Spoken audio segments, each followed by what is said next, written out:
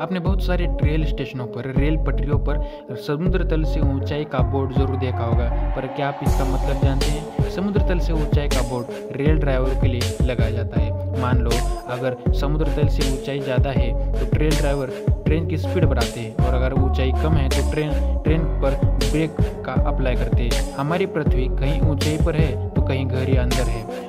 इसे भापने के लिए समुद्र तल की ऊंचाई का इस्तेमाल करते हैं। अगर इस बोर्ड को रेल ट्रैक पर नहीं लगाया जाता है तो ट्रेन ड्राइवर को ऊंचाई का और गहराई का पता नहीं चलता और इस वजह से ट्रेन का एक्सीडेंट भी हो सकता है। इसी कारण से ये बोर्ड पटरियों पर लगाया जाता है। दोस्तों, ऐसी जानकारी पाने के लिए सब्सक्राइब कीजिए हमारे चैनल को और प्रेस कीजिए बेल आइकन को। मिलते हैं अगली वीडियो में। जय हिंद, जय भारत।